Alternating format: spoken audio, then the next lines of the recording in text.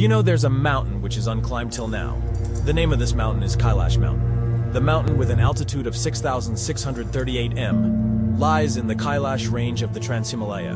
Hinduism, Buddhism, Jain, and Bon religion forbid trekking the heights of this sacred mountain. Hindus believe it to be the abode of Lord Shiva, one of the most supreme god in Hinduism. Buddhists consider it a representation of Buddhist cosmology on Earth. For Jain, founder Rishabh attended spiritual awakening here. Bons believe their founder landed on Kailash when descended from heaven. Many have attempted to climb this mountain in the past, but encountered unexpected difficulties. Some believe that only a man entirely free of sin could climb Kailash. Various studies have shown that this divine peak is considered the center of the world. Additionally, it is connected to significant monuments. For example, Stonehenge is 6,666 kilometers away from Kailash, and the same distance applies to the North Pole. The distance doubles exactly with